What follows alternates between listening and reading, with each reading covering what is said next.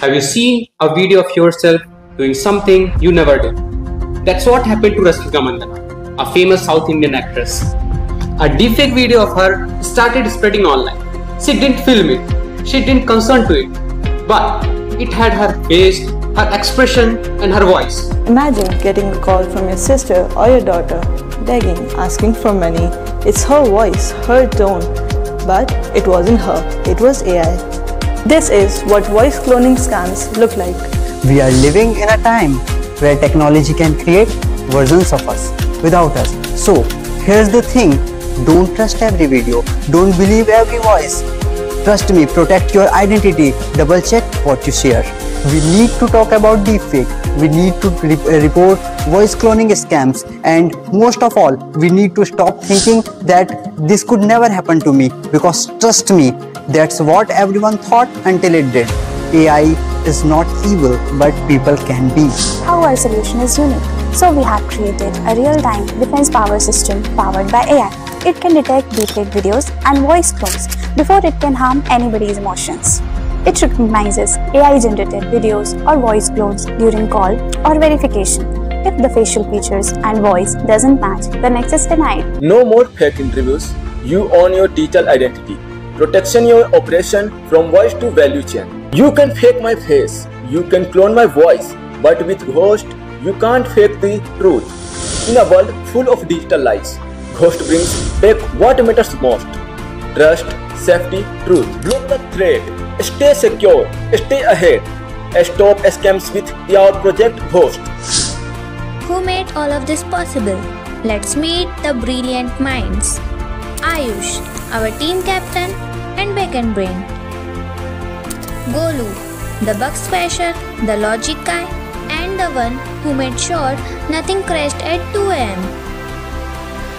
Harshvardhan, the AI manager. He trained our deepfake detection models till they were sharp enough to catch a lie in milliseconds. Vanshika and Soumya, our front-end force, designers, coders, and the chaos managers. They turned raw data into something users could actually understand and trust.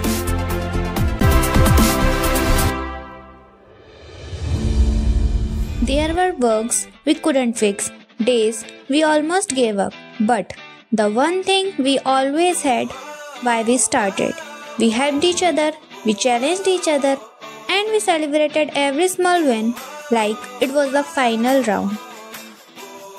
Now, let's talk about the journey and timeline. Registration round. This is where it all started a decision, a form, a leap of faith.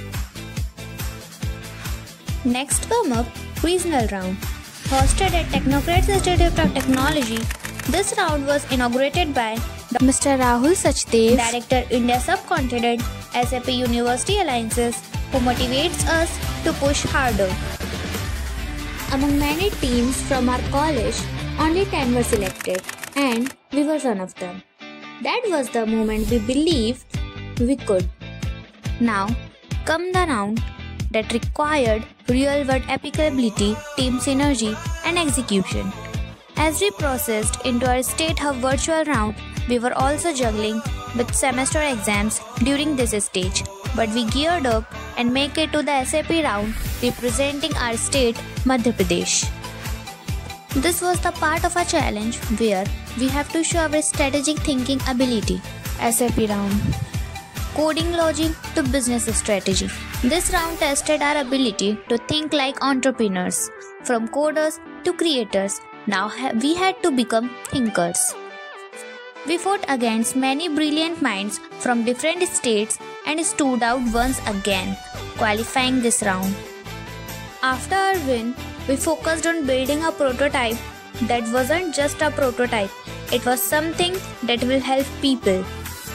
From uncertainty to opportunity, from regional qualifiers to finalists, we made it. Not because we knew everything, but because we refused to stop learning. And today, we are proud to say we build more than just a project. We build a solution that can help protect people in the real world. We started with questions, we ended with answers. We are team Tecticians, and this is just the beginning. Because when people come together, even from uncertainty, innovation happens.